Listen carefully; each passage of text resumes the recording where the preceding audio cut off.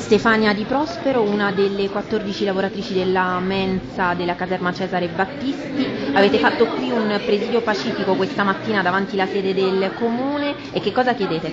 Allora, abbiamo presidiato il comune in attesa che il sindaco ci desse delle risposte chiare ed effettive sul futuro della caserma Cesare Battisti, cosa che purtroppo non è avvenuta perché eh, ha i suoi impegni. E, ehm, noi oggi vogliamo far presente anche una cosa, che abbiamo creato anche un disservizio all'interno della caserma Cesare Battisti, poiché gran parte delle persone che vedete qui non hanno eh, eseguito il solito servizio di ristorazione. Questo per far vedere che noi crediamo in quello che stiamo facendo oggi.